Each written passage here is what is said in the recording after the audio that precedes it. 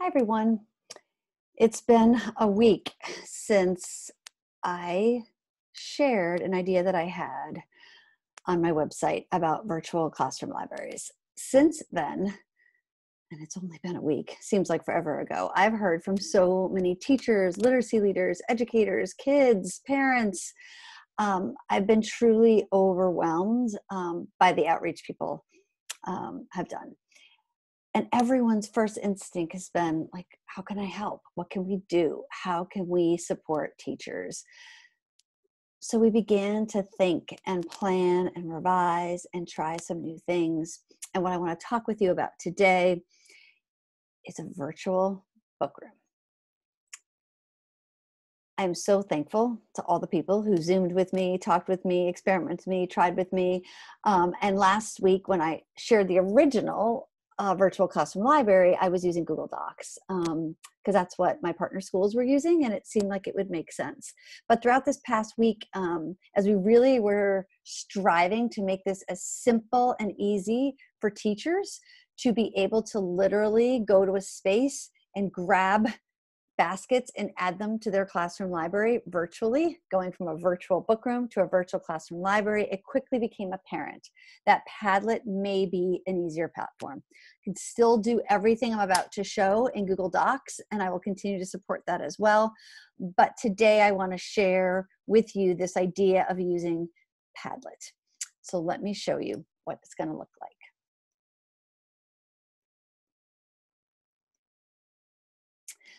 So this is a virtual bookroom in Padlet. You can see it looks similar to what I showed um, in Google Docs in that there's virtual bins um, in the organization of it. Rather than being in a grid by one section of a classroom library, um, this book room would support all different sections of a classroom library. So we would have a section to support independent reading, topic and interest.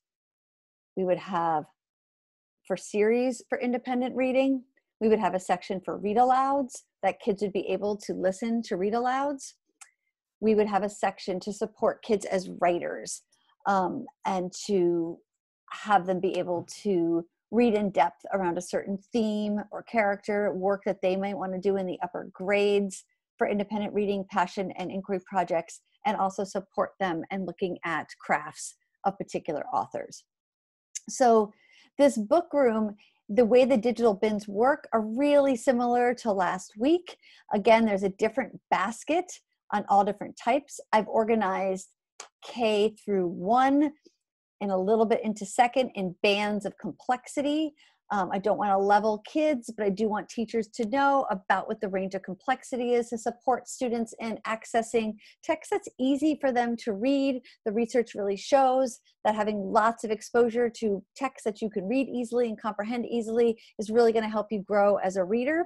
So I have organized these for the lower grades um, into bands of complexity, and then beyond that, for the upper grades, I'll start to be organizing them more in terms of themes and character traits and genres and other ways that kids might begin to explore um, text as well as series.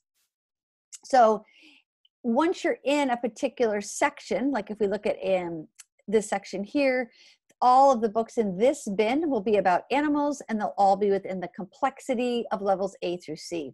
So just like a digital bin that we showed last week, you would click on this, and it will take you to a bin where there are all different books about animals that kids can access, right? So here's a book about sloths. And if you click on it,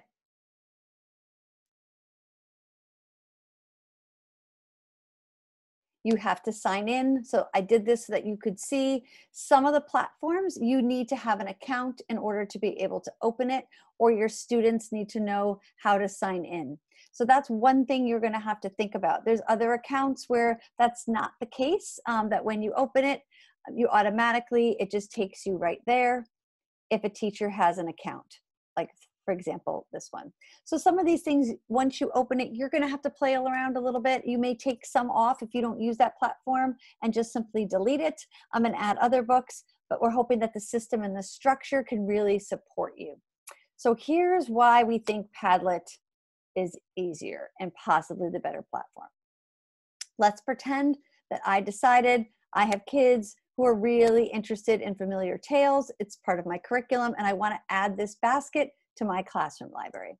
I simply go up, right? When you when you hover over the basket, you'll get this little piece here that has the three dots.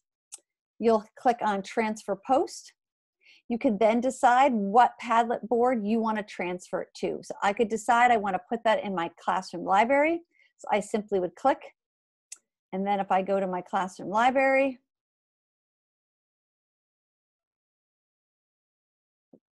second. You can see Familiar Tales was added there. It takes one push of a button and you automatically can grab and go to your baskets. In the same way, you could decide you have some kids for whom the complexity of your books um, might not match who they are as readers, and you may want to give them a different experience. You could create student reading bags for a child or a group of kids in your class um, to better meet or differentiate their needs for lots of different reasons. So let's pretend in my class I wanted to be able to do that. I still wanted to have this idea of familiar tales, but I wanted familiar tales that were more going to match the needs of particular group kids in my class. I would then think about a different level of complexity rather than the DE complexity. I might look at the AC. Again, I hover over this basket, I click, transfer post, and I might put it in a student independent reading basket. I can then look at that student independent reading basket and you can see there was already a Laugh Out Loud basket and I just added the familiar tales basket. I could assign this independent reading bag or shelf to a certain group of kids in my classroom. I could just share it with five kids or six kids. I could also decide that I'm going to create an entire classroom library and have everyone choose within that classroom library, right? It's really up to you and how you feel like it's going to work. You may decide that you want to add for your kids some read alouds, right? You might decide that you think that for your kids, they would really love to hear some books aloud, and that could be a nice opportunity. So you could make a read aloud section, right, in your classroom library. So I might go over to my classroom library. If this was your library, you can add, right, a section or a column um, within that, and you could call it sort of read aloud. And then you can go ahead and add that for them.